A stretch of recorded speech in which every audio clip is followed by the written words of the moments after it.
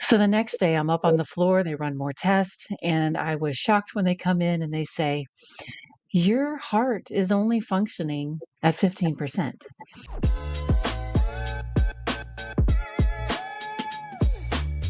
Hey there, and welcome to ASCC Overflowing Buckets. Today, we're thrilled to have the incredible Edwina Adams join us. You might know her as Edwina the Encourager. But did you know she's also survived a near death experience and built a successful business from scratch? So, Edwina's story is one of resilience, grit, and a whole lot of heart. She's turned her toughest challenges into her greatest assets, and she's ready to share her secrets with you. In this episode, Edwina is going to reveal the power of noise noise of inspiration, strength, and encouragement and how it can transform your life. So get ready to be inspired, uplifted, and empowered. So let's dive in. Edwina, how are you? I'm good. Good to meet you. You as oh, well. I'm so, I, glad I, was... I, got the memo. It's a black tank top kind of a day. Uh, right? Yes. I love this. Thank you so, so much. Yes. Near death experience. How it's interesting how so many people you know, when they're in the junk, in the yuck. And I hear this a lot, a lot of a lot of folks and we have a community and we come in and and we're around folks and we're like, "Oh, we're so sorry you're going through this and you're going through this." And and when when when we're young, we're like, "Oh, why? Why? Why? This is awful." And you think it's the end of the world, but I think when folks are older, right? A lot of times yeah. we're like, okay, what's a lesson here? What's a lesson here? Mm-hmm. And I mm-hmm. think that's the difference in youth and and when we're older. So that wisdom, yes. It's that wisdom of so what happened? What was the lesson? And what's the wisdom that we can gain from your journey? So maybe we don't have to go through that horrible experience and gain from your from from learning from you. So, first of all, thank you for sharing because so that we don't have to go through it. Well, you know that that's what I think is important. I think it is important for for me to share. I think it's important for other people to share when they've experienced things like this and then they have gained that wisdom.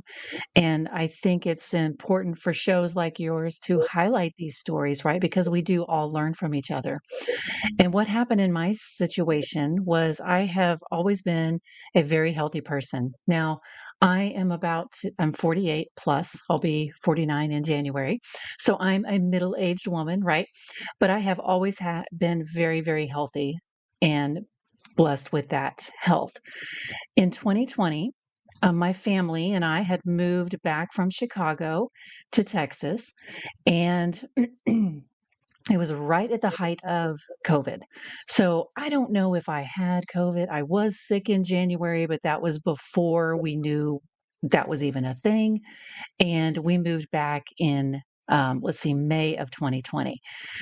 Well, very quickly after moving back, um, I say very quickly. With a month or so, I just started feeling really drained, you know, and it's not like me to nap, and I'm napping a lot and um, just not feeling well. I actually thought I had some stomach issues or something. So one day, my kids had already gone to bed, and I told my husband, I'm just going to drive myself to the ER, get checked out. I'll be back in a little bit.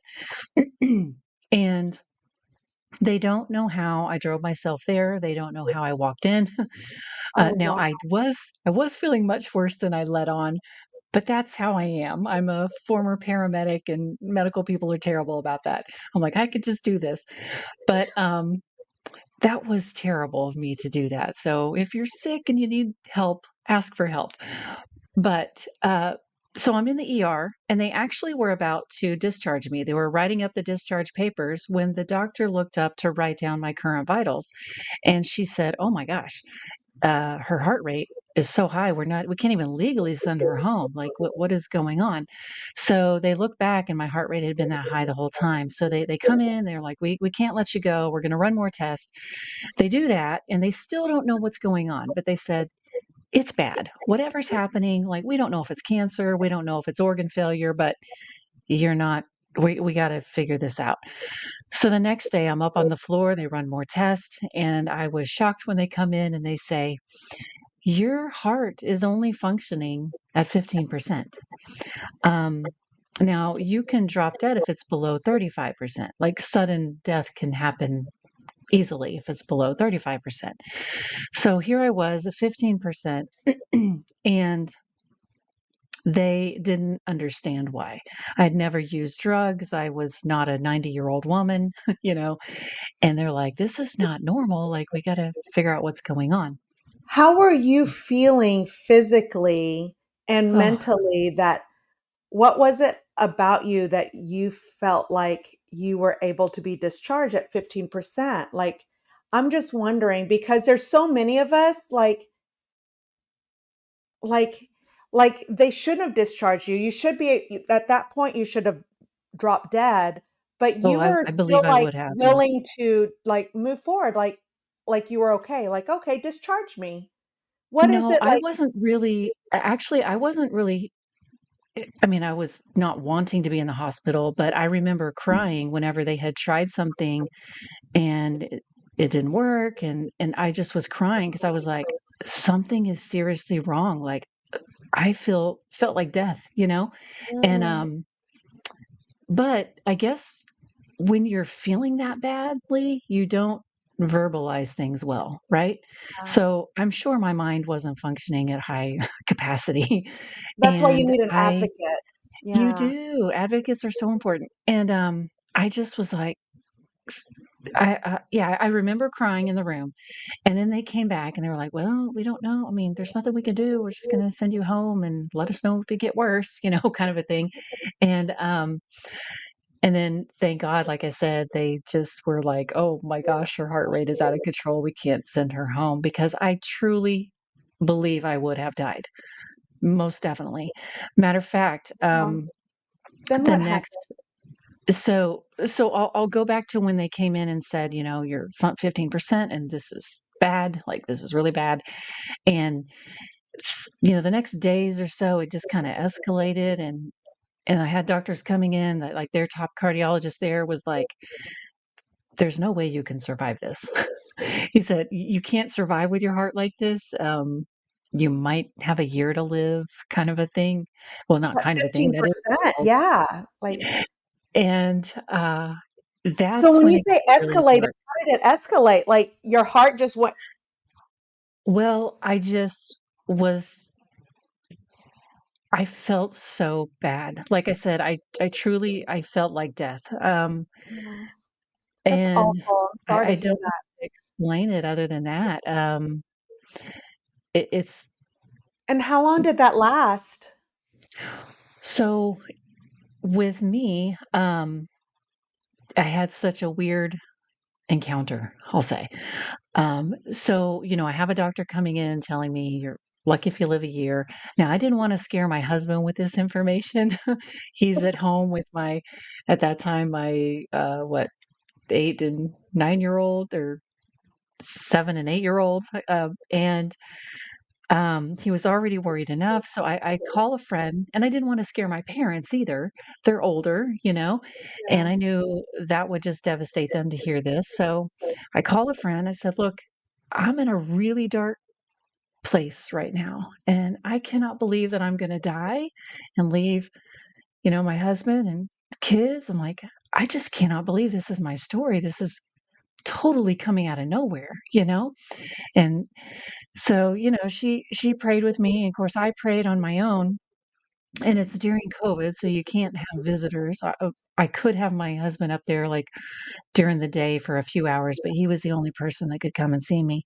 And um, I I don't know, within a day or so, after just really saying, "Okay, God, there's nothing I can do. Like, this is in your hands." Um, I had such a peace, like true peace, to the point where doctors would walk in the room and they were like, "Do you understand what's going on?" And I said, "Yeah, I, I truly do. I mean, I was in the medical field. I get what you're saying, but I think I'm going to be all right." Well, I had some things happen. I I nearly crashed. I mean, they literally opened the crash cart. The room got real weird. I don't remember everything, but I do remember, like I said, as a former paramedic who has done CPR many times, who has shocked people and all kinds of things, I, I remember thinking, "Oh my gosh, I know what's happening next, and I cannot believe this is happening." Um, I'm the room, everything's black around me, and I know I'm about to go out, and I tell, I hear the the doctor say something, but she was she said the wrong thing. It was something I had relayed to the nurse prior to this happening, and the doctor's repeating it, and the nurse is like, "Yeah," and and I and I'm my eyes are closed, everything's dark even if I open my eyes, and I said, "No, that's not what I said," and I said whatever, and they were like, "Oh my gosh, I can't believe you answered me," and, um, and that helped them though, right? That helped them that I had that Cogniz ability to yeah. Tell them this, and I don't remember much after that. I know that I went to ICU, and from there, they tell me, "Okay, we think you're gonna need a new heart." I I just think that's where you're at, and, um because we had just moved back to Texas, my husband was a mental health therapist, but he, you know, had didn't have his job up there anymore, he moved back to Texas. He had applied to get his Texas licensure, but the state of Texas was shut down, and nobody was answering their phones, nobody they had they had, like, cashed our check and everything to, like, process his, uh, licensure, but The but department no to cash no a check license. was open, but the department to Yeah. issue the license was not. Yes, yes, it was a very weird situation. So, like, my there were people like, places wanted to hire him, he couldn't get a job because he didn't have a Texas license, Oh. we didn't have health insurance, and here I am dying, right? And And now I'm a new needing a new heart. heart, and we Oh. have no insurance. So, I I finally get out of ICU, and there was this young doctor, he was an intern, he came in one day and he said "This is, like, a long shot, I honestly, I don't see it happening." He said "You know, you I know you know you need a new heart, but the only way for somebody a transplant surgeon to accept you is you need insurance, so basically, you're not gonna get that." He said, "But my job today" he comes in, like, 7 in the morning. He said, "I'm gonna I don't care if I'm on the phone all day long. I am going to be making phone calls, seeing if somebody in Houston would accept you," you know? He's like, "I don't know, but it's a long shot." He came in, I'm gonna say maybe an hour, hour and a half later, and he just was, like, beaming with this smile, and he was in shock, and he said, "I we don't even know how this is happening." He said, "But" "you're going to Houston today." And he said, "Not only are you have you been accepted to St. Luke's, but the top transplant surgeon has accepted you." And he's like "Even without insurance, he wants to meet you, he is in intrigued by your story, and, um, you're going today." And I was like, "Oh my gosh." Well I get down to Houston, and again, this whole time, I'm just joyful. I mean, the doctors are We're in gonna have to come back, and when you say intrigued by your story, I wanna know what story intrigued him. Well, what intrigued him was my age and that I was so diminished in my Mm, heart okay. health, and that I had no history, Your and that I had you know, I had driven myself in and walked in just the whole thing. He was just like, "Well, let me see this girl." And, um, so I go down there, um, thinking you know, I never wanted to get a transplant, like, who wants to go through Yeah. that? But I had I had just had this piece of, like, whatever's to happen, happens, and, um but I knew that I was gonna be okay, whatever happened. So I go down there, he ran several tests, and I re I don't remember much of it, I I was so sick, and I remember him still having his face mask on after a procedure, and we're still in, like, the it wasn't surgery, it was, like, the the cath room or something. Bright lights, and he's standing over this gurney type thing, and he I could see he just had a big smile through his mask, and he said, "I don't know what is going on with your heart, I don't know why you're in the situation you're in," he said, "But I don't think you need a new heart." And I said, "Okay, I can accept that." He's like, "Let's just, uh, I've got some things I'm gonna do, but let's I don't think you need a new heart." So, time goes by, and I'll fast forward, it's a longer story, but I I was only able to go home weeks later, uh, wearing a defibrillating life vest, and that was because it does just that. If if I were to have a cardiac event and drop dead, it would shock me, and typically, they only let you wear those a few months, and that's to get your heart maybe with meds, bring your heart function up a little higher so you're it's safe enough to do a surgery, to do, like, a defibrillator placement or any other surgeries because I was so fragile, they didn't even wanna do surgery on me. And, um I go home wearing this defibrillating life vest. And again, I'm not advocating that people do this, I just had a internal knowing, I had a peace, I had such a I just knew that I was not gonna die. God had promised me that. And I was running on the treadmill, not always wearing my life vest and different things, And because I was slowly, like, getting myself back up Mhm. and and and getting my heart stronger, and, um, one day I went to an office visit, and his nurse was telling me, she's like, "Your your function is up" I had done another test, the function was up higher, but it was only, like, 20 something percent, and I was pretty bummed because I thought, "Oh, man, I really felt like it was higher, and I could get this vest off." Now, they didn't know I wasn't always wearing it, but she said, "We gotta schedule you to get your defibrillator placed, and, you know, just be careful, always be wearing the vest because this is you're in a very, very dangerous situation." And I was like, "Yeah, I I know." And, um, so I I asked them, I said, "Can we i don't think I'm gonna need that defibrillator, will you give me more time to wear the vest?" And I had to talk them reluctantly into letting me wear it, I wore it ended up wearing it for 8 months instead of the normal 3 or so, and but prior to even the 8 months being up and prior to me having another test to prove that my heart function was up, um, I had been, I think to it was a 3rd appointment, and my heart function was still not up high enough. And she the nurse scared me, I mean, she just said "Don't have this vest off, you you should already have had a defibrillator placed, you're in a very, very fragile situation, like, the you could die," you know? And I went home that day, and where I would normally just kinda take off my vest and because I just had this peace and, like, I wasn't Mhm. fearful of death, Mhm. I was petrified, and Mm. I was so fearful, and I was in the bathroom, and I and I would, like I said, normally take my shirt off and take the vest off, and, um, I couldn't do it, I was gripped by this fear.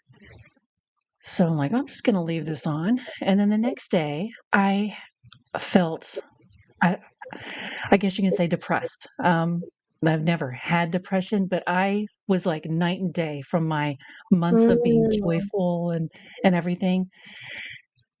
And I remember I was in the bathroom again just looking in the mirror, and I thought, "I'm gonna die. I just I cannot believe I'm gonna die." And I just all these negative thoughts and this darkness was just shifted. Oh, like like night and day. And then it that dawned on me, I was like, "Why have I been joyful and at peace all these months, and now all of a sudden I'm terrified, like, literally terrified?" And right there in the mirror, looking at myself, I felt God say, "Because you don't believe my promise anymore." Mm. I said, "Oh my gosh, that's what it is, I don't believe it." And again, I'm not advo if you are told to wear a life vest, wear one. This is my personal journey, Mhm. and, like Thank you for sharing, yes. You're on.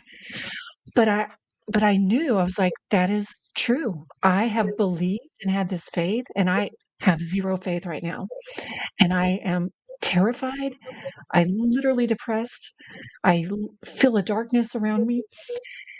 And I said, "No, that's not true, though, I do believe what I was told." And I took the vest off, and that vest weighs, like, I don't know, a few pounds. Mm. It literally felt like I took off 25 pounds. like, I was like and I just started laughing, like, in the I was in the this bathroom by myself, and I'm just giggling, and I was like, "Okay, I'm good." And girl, I was flying high from then, and then a few months later, I go to get a final test. Well, now is the final test, and, uh, he turns around in the chair, the cardiologist does, and he says, um, "Your heart function is better than somebody who has never been through heart failure. Yeah. You can take that vest off, and I'll see you in a year." And I was like, "What?" And, um, that's where I was in 2021. I was, you know, uh, off the vest. I hadn't had to have any surgeries, and I I think the bigger story, though, is that I had this peace and this joy through that journey.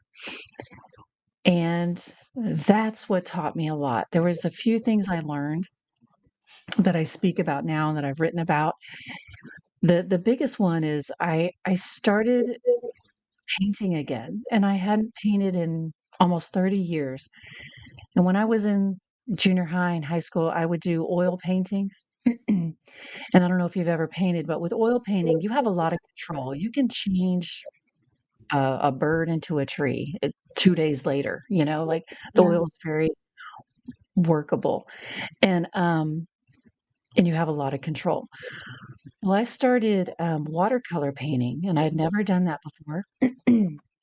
And here I am sitting at my dining room table, and at that time, I was still wearing my life vest, and I'm doing this Literally. watercolor literally, and I'm learning, you know, how to paint with watercolors, and and I'm just by myself, and I remember thinking, "Oh, this is so different from oils," because, again, you have so much control with oil, and in my head, I'm just thinking now the difference, and I said to myself, I I don't have control with this, like, the water has control."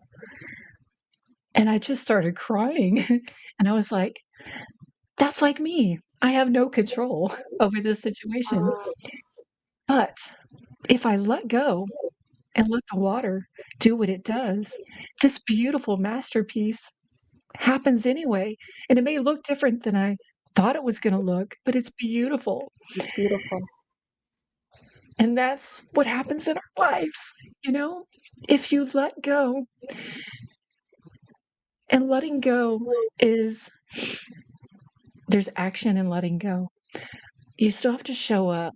You still have to do things. Uh, you know, as a painter, I still have to sit down with the paint. I have to get the paintbrush out. I have to get the right paper. There's action, right? Right. But you still let go, and the letting go is knowing I'm not in control. Mhm. I don't have to be. So that was my biggest takeaway is that I know for me as a a mother and a business owner, an entrepreneur, paramedic, there's a lot of control involved. Mhm.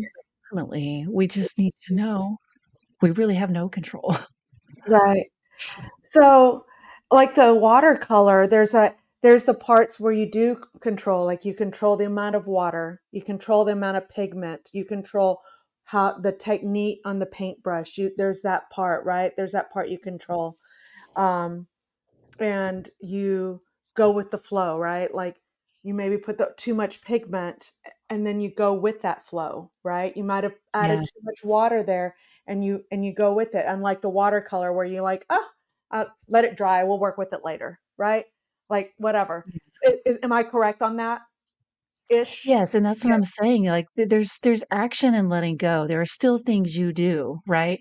You still show up. You still show up in your life. You get up and you try another day, right? But just that knowing that you don't have to control every little facet and worry that you're not doing the right thing. How do you just do what you can do. on, like, when to, like how do you make the decision on, "Okay, like" "let it all go," and just like, "Phew, forget it all," you know, "I'm letting it all go. Lord, take the wheel. I'm letting it all go. I'm gonna go under the covers. I'll see you in a year," you know? Yeah. to to, like, "Okay" I, I need to to the opposite end of I'm going to control every single facet and not give any you know give up all. There's that middle ground, right? Yeah.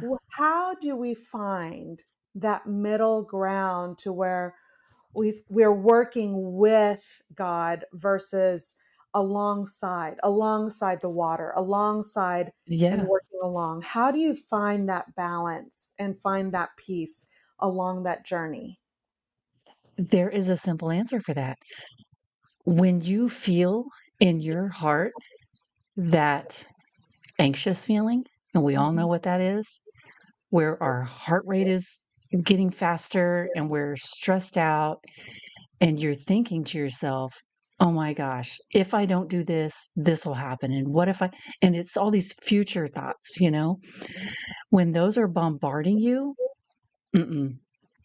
that's not your job. There's no way for you to know what's going to happen in the future. That's where you let go. Because those future thoughts um, cause that anxiety you know right. matter of fact science has even proven the bible talks about it but we now we know like oh that's what they were talking about and science has actually proven it mm-hmm. when you replace your thoughts with truthful thoughts that feeling literally goes away so when you're feeling that and that anxiety is building up you just say okay there's nothing i can do about that but what can I do in this moment? And that's where there's action involved. Okay, I can't fix my child maybe getting into drugs when they go to school. What can I do? Mm. Well, I can be a loving parent. I can let them know that I'm here to talk to them. I can let them know the damage that can happen, you know, but I can't control what my child does. You, you see what I'm right. saying? And that works in every in everything with your business. Like, oh my gosh, what if this doesn't happen and now I'm going to be overdrawn and I can't pay our employees and you're just like freaking out and you're getting sick. Okay. I don't even know if that's going to happen. But what can I do? Right. What can I do right now? And it literally just works with everything. And I'm telling you, I was the person who lived in the future, um, lived there. And I did have those future thoughts. And it has been life changing to know that I don't have to live there and I don't have to figure it all out and I don't have to worry to fix it all. But I do, but I am still a person of action. Very mm-hmm. much so. I mean, heck, I wrote a book while I was, I, I actually went back into heart failure um, this past December. And even when that happened, I was like, oh man, are you serious? I was really shocked that that happened. But I just let it go. Um, and I was able to actually do all these things that I've been teaching that I have learned from that first time. I ended up writing a book during that second time in heart failure. I was wearing a defibrillating heart vest again at mm-hmm. Life Vest, and um, it's just a powerful thing, and it's not fake. It's not just. So you took action in the things that you could take action in, and you let go of the worry of any of what could possibly happened that was outside of your control, but you took action on the things that you knew that you could control. Exactly. I mean, I remember that first time when um, I had I was in ICU, and this team of doctors had come in and said I was probably just needed a new heart, and my husband was sad, you know, and I said, you know, here's the thing. I don't believe I'm going to die. I, he's like, well, I don't know how you know that. I said, I don't really know how I know that either, but it's just a feeling I have. Now, let's say I'm wrong though. I said, the truth is, I could be in this ICU room. You could go down to the car, drive home to mm-hmm. the kids, and on the way to your drive home, you could be T boned and killed today. I don't know. As a paramedic, you've seen a lot, yeah. Yeah. Said, "We just don't know what's gonna happen." But I don't feel like that's gonna happen. So let's just not live in that future thought of, "Oh my gosh, you could be driving home today and get killed," you know? Yeah. So I said, "I'm not gonna lay here in this ICU roo ICU room thinking, 'Oh my gosh, I could die tomorrow.' Maybe I do, maybe I don't." Right. I can't control that. Well, the truth is that we all control. will die. That is the truth. And it it's I I was I was at a mastermind, I said, "Well, if we die" and I said, "Why did I say if?" So when we die, you know, Mhm. I was like, Right. Why did I say if?" Because that that is one of the 100% sureties of life. The only thing, yes, right? that is that is 100% surety is that that will happen.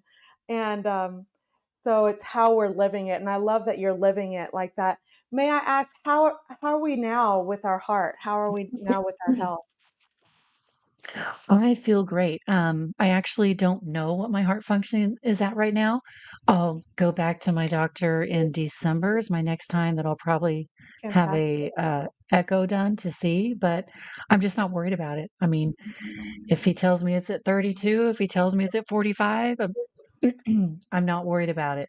I'm just I take care of myself, um, I and I'm not I just don't stress about it. At night, I don't lay my head on the pillow and think, "Oh my gosh, is my heart rate is my heart function down, and am I gonna die?" And I just don't think about it. Um I What are the things that you do think about every day? What are the things that you do to architect your day to day? I am driven to help other people know that they don't have to live in fear. So, for one, I don't push myself like I used to. I used to just kinda be a workaholic. Uh, oh, I guess that's what it was because I just I mean, I would be happy to sit down and work all day, and I would forget to eat, you know, that's not good. Um but now I just if I want to go on a bike ride, I go on a bike ride. If I wanna sit down and paint, I sit down and paint. And if I don't make money that day, I don't make money that day. I don't worry about it. Um, I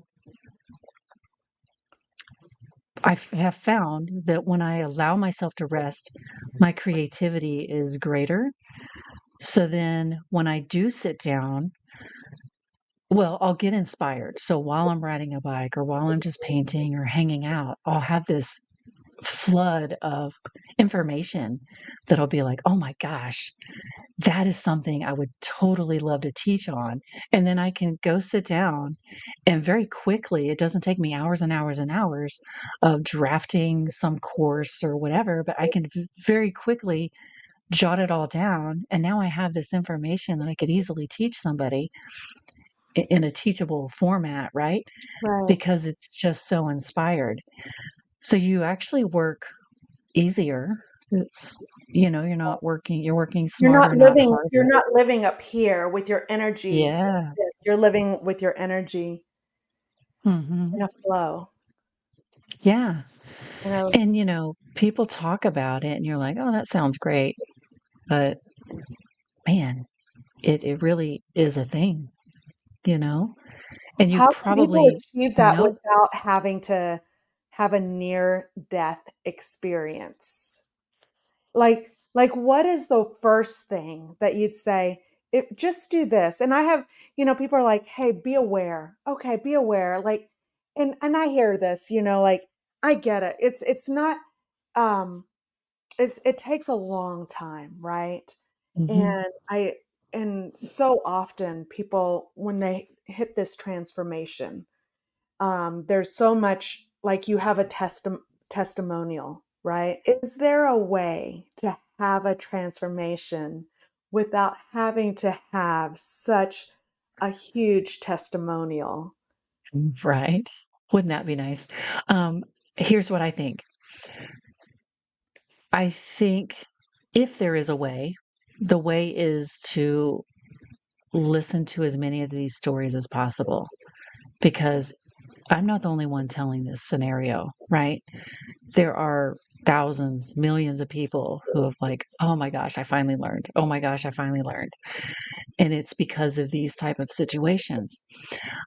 I will say this too. Um, so if there's a way to learn, maybe that's it. Otherwise, my adversity won't be your adversity, but we're all going to have it. And what it took for me may not be the same thing it takes for you. So it might take something different in your life to happen for you to finally get it. Um, I had a gentleman on my podcast not long ago, and he had the loss of a child. And it was so profound what he said. he said, you know, one of the things he hated that people would come up and say was, um, well, you know, God only gives you what you can handle. and he was like, no, no, that's not even biblical, actually. Mm-hmm. God gives you more than you can handle. And it will it will break you. And when you're broken, then you finally are like, see the bigger picture. But what is it going to take to break you? For me, it took near death. I'm very hard headed though. Not everybody it takes, you know, it needs it to be that drastic. Um, it just may take uh, maybe a, a, re- a strain in a relationship or something in your business that happened or an encounter with an employee that's really dramatic. I mean, who knows? Um, but there's something out there that can get you to that point because you're hard headed and stubborn in certain areas. It'll take something for you to say, oh my gosh, now I get it.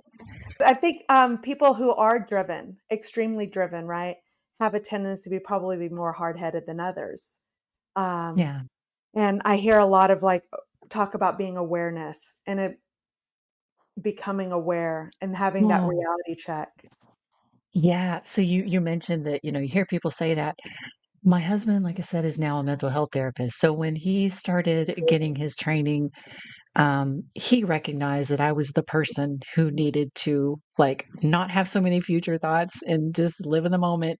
And he would mention things to me like that. Well, he was the wrong person to do that, right?